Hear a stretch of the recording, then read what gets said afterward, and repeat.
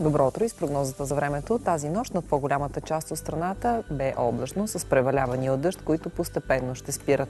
През деня ни очаква променлива облачност. След обедните часове е възможно за кратко да превали и прегърми в южната половина от страната ни. Утрото навън е хладно с температури в интервала между 8 и 11 градуса и слаб до умерен вятър. През деня променлива облачност и дневни стоености в интервала между 16 и 22 градуса.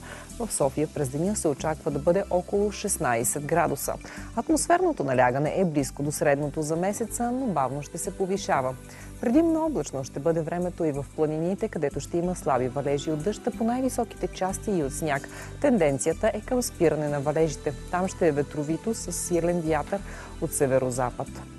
Облачно ще бъде времето и над по-голямата част от Европа. Валежи от дъжд се очакват на много места в Белгия, Франция, а също така и над Пиринейският полуостров.